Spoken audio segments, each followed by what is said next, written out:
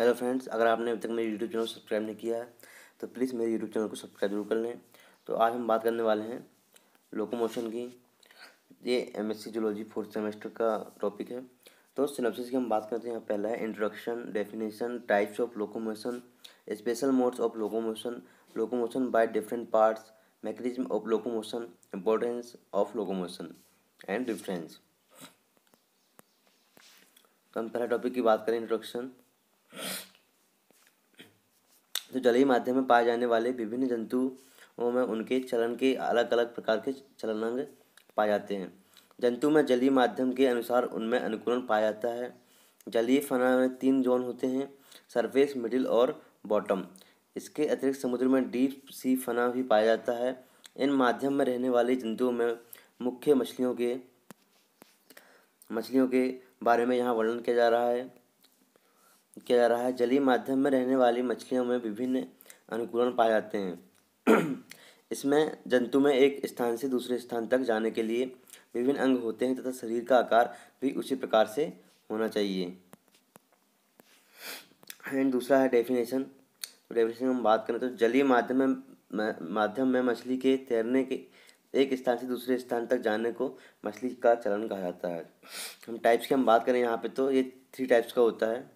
Locomotion पहला है एंगुली farmer like इस प्रकार के चलन चलन जो होते हैं, वो होते हैं सरपेंटिव प्रकृति की ईल में पाया जाता है।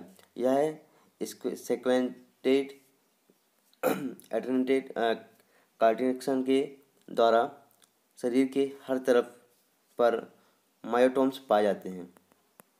मायोटोम्स पाए जाते हैं।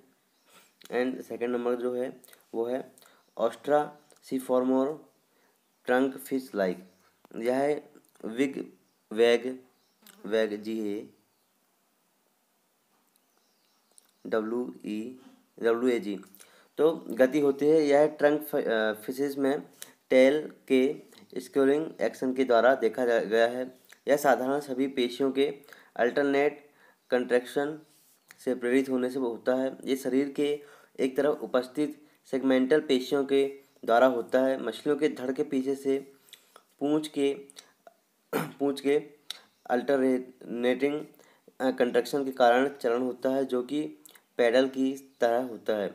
जिससे शरीर एक शॉर्ट सीरीज़ के क्रॉस क्रॉस से क्रॉस से पानी में आगे की ओर ढकेलती है और इसी प्रकार आगे बढ़ जाती है। और तीसरा नंबर जो है दोस्तों वो है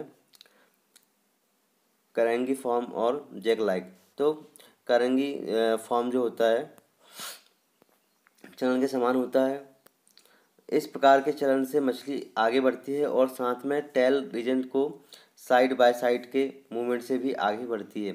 यह बीच का चलन कहलाता है। चौथा नंबर चलन जो है दोस्तों, वो है स्पेशल बहुत सॉरी टॉपिक जो है special modes of locomotion locomotion तो पहली बात करें हम जंपिंग की तो कुछ मछलियाँ कुछ मछलियाँ जो हैं, छलांग लगाती हैं। यह जंप, एनेमी या फ़ूड प्रोली जे सेक को लिए होता है। समानता मछली तेज, तेज़ी से आगे की ओर तैरती हैं। पानी की सतह पर शरीर के शरीर के मसुलर एक्शन के द्वारा यह तैरती हैं। तो यहाँ पे फ्लाइंग की हम बात करें तो फ्लाइंग फिशेस पानी में पूछ के मज़बूत स्ट्रोक के कारण व बड़े अंश जो होते हैं पंख उपयोग से उड़ान करते हैं। हम वॉकिंग की बात करें तो यहाँ पे जो होता है तो सिफेलो कैंसस में नीचे का भाग जो होता है वो पेक्टोरल फिन के आकार का होता है, जो तीन या चार फिंगर लाइक रेस को विभाजित विभाजित हो जाता है, जिनका उपयोग जो होता है कीटों के पैरों के समान करती हैं। क्रॉलिंग की यहाँ बात करें हम तो क्रॉलिंग की यहाँ बात करें तो जो होता है Lophius pectoral fins sea bottom के रंगने के लिए उपयोग करती है। स्कीपिंग की बात करें यहाँ पे हम तो इंडियन जो गोबीज होते हैं, इसका सामान्य नाम है, यह एक पैर पर चलता है। यहाँ पे हम छठे नंबर की बात करें, हम दोस्तों क्लाइंबिंग की तो क्लाइंबिंग जो पैर जो होता है, वो ओपेरिकुलर स्पिन का उपयोग ऊँचे वृक्षों पर चलने के लिए करती हैं। ब्रोविंग की हम बात करें तो ईल मुड में बोरो बनाती हैं, जो साउंड, स्नाउट के द्वारा बनाती हैं और ये मज़बूत पकड़ के साथ अंदर ही अंदर चलती रहती हैं। लोकोमोशन बाय डिफरेंट पार्ट्स तो मछलियों में चलन में सहायता करने वाले विभिन्न अंगों का उपयोग होता है, जो कि निम्न है।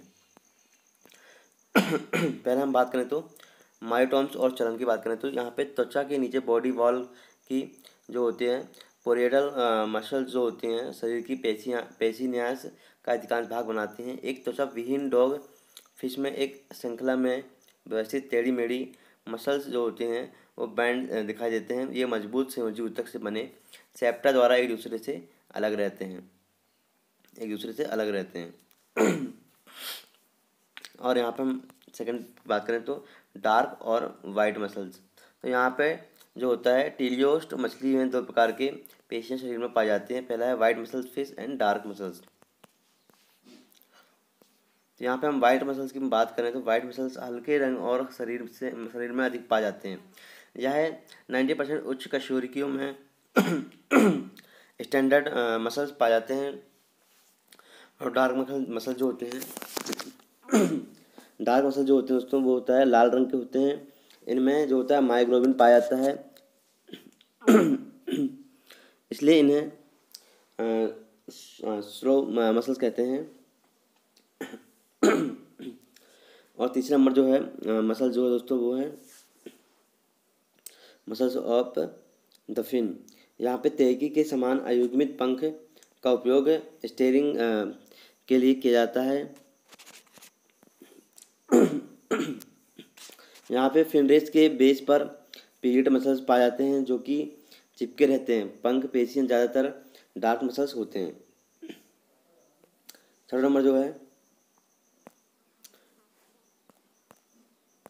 मैकेनिज्म और लोकोमोशन की हम यहाँ पे बात करें तो body movement due to alternate expression expansion and contraction of the fish of the myomeres तो यहाँ पे हम बात करते हैं। बहुत सारे वैज्ञानिकों के अनुसार इल जैसी वास्तविक आगे की ओर शारीरिक दाब के द्वारा पानी में आगे बढ़ती है क्योंकि जल उसका चलने का माध्यम है। पानी में गति पेशी और पुच्छी स्ट्रोक द्वारा होता है। यह गति पहले कुछ मायोमर्स के संकुचन के द्वारा होती है, जिससे मछली से मछली जो होती है वो, जिससे मछली की पूर्व, जिससे मछली की पूर्ववर्ती जो शरीर है, वो मुड़ जाती है, मुड़ जाती है या कर्व बैकवर्ड में हो जाता है, हो जाता है, जहाँ सीरियल मसल्स के अल्टरनेट कंट्रक्शन के द्वारा तरंग पहुँचा जाती है तथा मछली में